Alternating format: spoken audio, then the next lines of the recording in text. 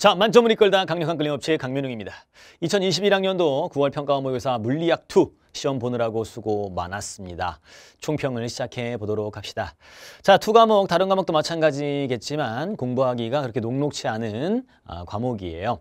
그렇지만 남은 기간 최선을 다해서 꼭 수능에서 물2 최고점을 받아보도록 합시다. 자, 문항 구성부터 시작을 해보도록 합시다.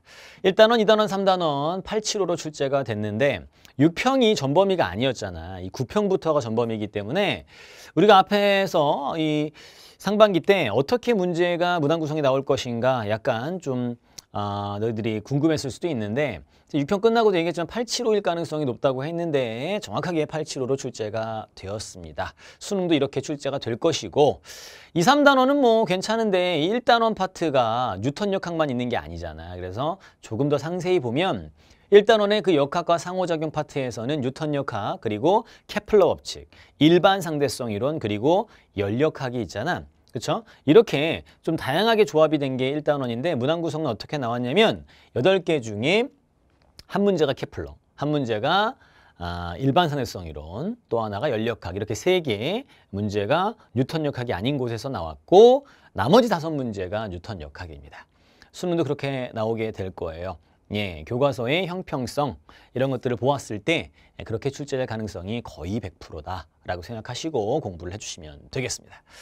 자, 출제 경향과 난이도 뭐 특별할 건 없어요. 예, 투라는 과목을 예, 과목이라고 생각을 하고 딱 봤을 때 전체적으로 평이했습니다. 물론 난이도가 좀 높게 느껴질 수는 있었겠지만 투잖아요. 예, 투에서 이 정도는 평이한 거예요. 알겠죠? 1등 컷이 현재 집계되는 것은 44점 정도로 나오, 나오고 있지만 아, 뭐 들은 바가 있죠. 예, 수능으로 가면 약간 더 높아집니다. 똑같은 난이도로 나오더라도. 알겠지? 그래서 조금 더 어, 깊이 있게 공부를 좀 해줘야 여러분들이 1등급을 받을 수 있을 거예요.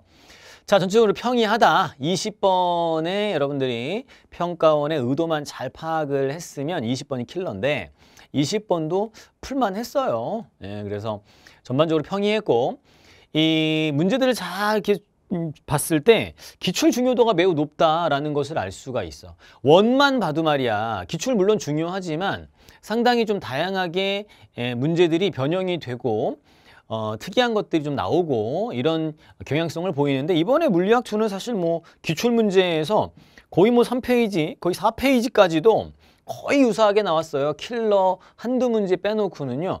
기출만 잘 분석을 했어도 어, 1등급 맞지, 맞을 수 있지 않았을까 이렇게 생각할 정도예요. 다만 그게 연습이 뭐 한 번 풀었더라도 연습이 잘 안 되어 있으면 이게 빨리 빨리 이게 안 풀리니까 아, 점수가 좀 안 나왔을 수 있어. 시간이 부족해서. 그래서 지금 늦지 않았어요. 기출에 이 남은 기간 동안에 목매다는 거 옳은 방법은 아니지만 이 기출 문제들 중에 여러분들이 부족했던 파트가 분명히 있죠. 제대로 안 돼 있는, 분석이 안 돼 있는 부분들, 그런 부분들을 잘 보완하시면서 어, 하반기 남은 어, 기간을 보내시면 되겠습니다. 킬러는 20번 포물선 문제였어요. 뭐 그렇게 나올 거로 예상했죠. 포물선 문제에서 어, 고난도 문제가 뭐 작년까지도 이 전 교육 과정이긴 하지만 계속 포물선 문제에서 고난도가 나왔고 올해도 다를 바 없다라고 얘기했는데 그렇게 딱 출제가 됐습니다. 난이도는 중상 정도지만 그냥 이 정도가 아, normal한 난이도다라고 생각하시면 되겠어요. 알겠죠? 수능도 이 정도 수준에서 나올 것이다. 알겠죠? 자, 키워드를 보면서 한번 음, 경향을 한번 살펴보도록 합시다. 큰 글씨랑 작은 글씨가 있는데 큰 글씨가 중요한 거겠죠. 여러분이 많이 틀린 거 위주로 제가 좀 크게 표시를 해놨고 몇 가지는 많이 틀리진 않았어. 뭐 이렇게 작게 좀그 써놓긴 했지만 중요한 것들을 좀 정리를 해보았습니다. 일단 20번 포물선은 계속 여러분들이 지속적으로 연습을 해야 되는 킬러 주제니까 음, 뭐 말이 필요 없죠. 계속 연습하셔야 돼요. 물론 뭐 연습한다고 해서 무조건 딱 맞는 것도 아니지만 포기하지 말고 어, 우리 two 과목이잖아요. 그렇죠? 다 맞는 걸 목표로 항상 가져야 돼. 네, 그런 목표 의식을 가지고 꼭 포물선 부분 공부해 나가시기 바라고요.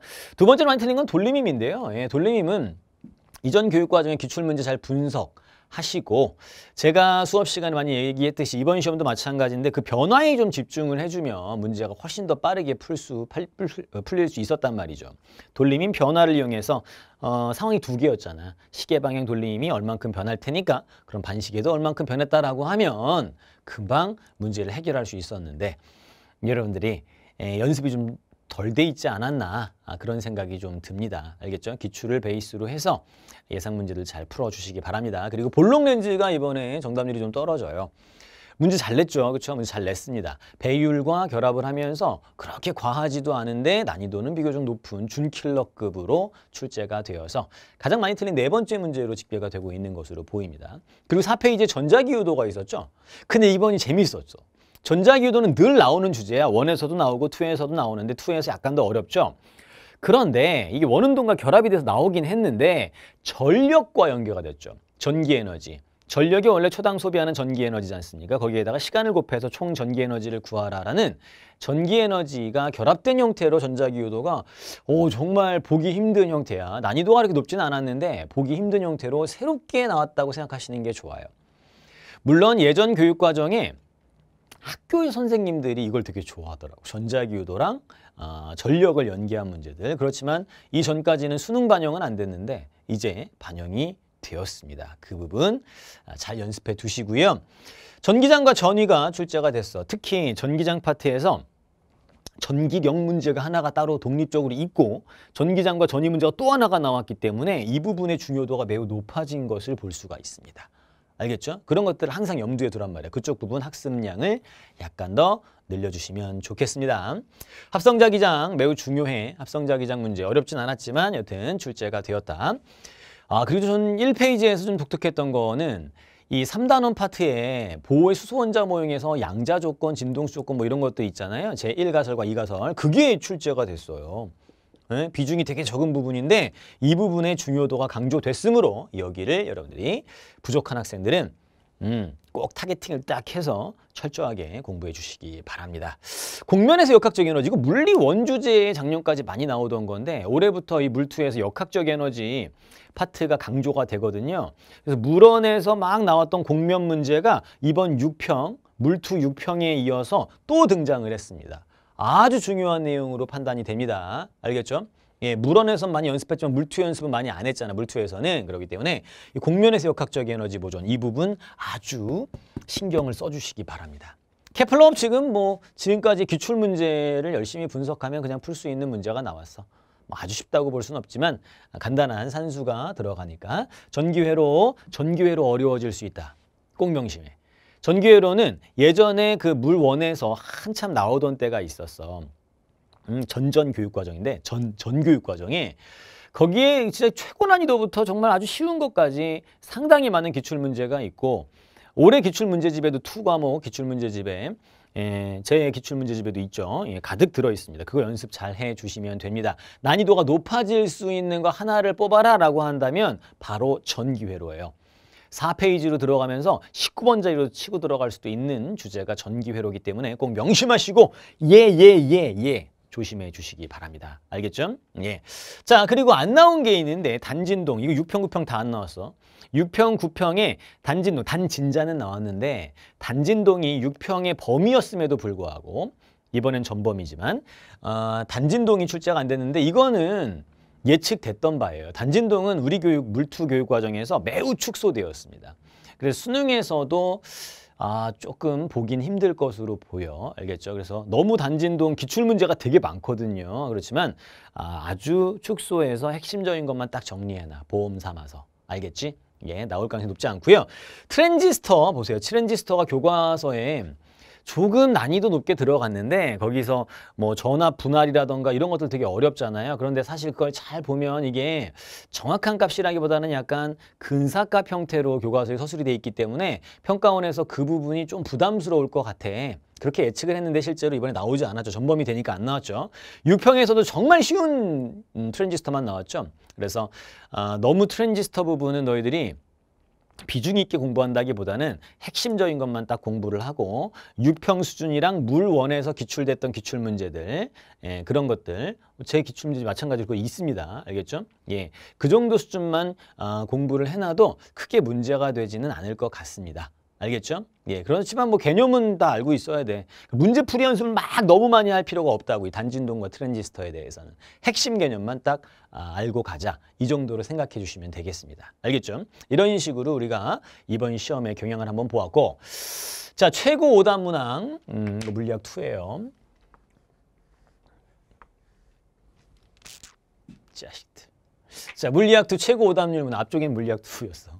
자, 20번 중력장 내의 포물선이 예, 최고 오답 문항으로 이거는 뭐 투하는 사람들은 다 예측했던 거 아닙니까? 그래서 중력장 내의 포물선이 가장 많이 틀린 문제로 집계가 되고 두 번째는 돌림임 알겠죠? 예.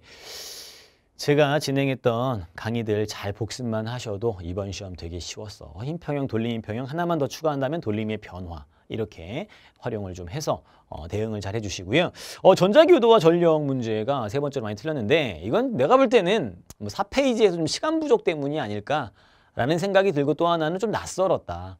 전자기유도랑 전력이 결합될 줄은 몰랐다. 이런 좀 낯선 상황.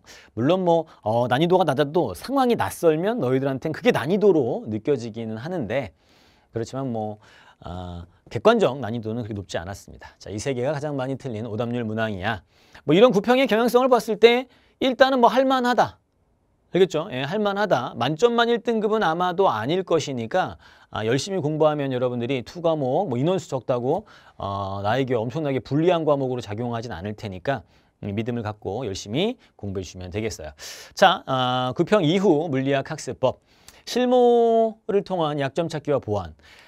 근데 두 과목의 특성상 실전 모의고사 수급이 잘 안 되죠. 그렇죠? 대부분의 선생님들이 이렇게 너무 이렇게 사이즈 볼륨이 크지 않고 그냥 조금씩 조금씩만 어, 여러분들에게 제공을 하게 되는데 어, 뭐 그런 어려운 상황이지만 그건 다 똑같은 상황이에요. 그래서 일단 실전 모의고사들 너희들이 수급할 수 있는 어, 문제들을 잘 정리해서 음, 적당한 너무 많이 풀 필요도 없고 많이 풀 회차도 나오지도 않잖아요. 그렇죠? 예, 어, 많이 풀 필요 없고 일주일에 한두 회 정도 final 기간 이제 추석이 끝난 다음부터 어 그때부터 한 1, 2회 정도씩 풀어 나가면서 공부해 주시면 되겠어요. 약점을 찾기만 하면 안 되고 당연히 보완을 하면서 가셔야 됩니다. one이나 two나 마찬가지인데 기본적인 개념 문제들이 거의 75%예요. 그렇죠? 75%. 뭐 실무를 통해서 굳이 연습하지 않아도 다 맞출 수 있는 것들이지 않습니까? 알겠죠? 그래서 그런 것들을 놓치면 안 돼 절대. 그리고 두 번째 미완성 기출 파트 학습을 좀 해줘라. 100% 아, 너희들이 기출을 완벽하게 분석하고 있는 친구들도 있겠지만 아닌 친구도 많을 거야. 알겠죠? 그래서 어, 그 기출 문제들 중에 나의 약점을 찾아서 그 부분들을 풀었어도 다시 한번 학습하는 시간을 꼭 갖기를 바랍니다. 알겠죠? 그리고 당연한 얘기지만 1단원이 뭐 물원도 마찬가지고 물체도 마찬가지 1단원이 사고력을 요하는 문제들이 상당히 많지 않습니까? 그 부분은 지속적으로 학습을 해줘야 돼요.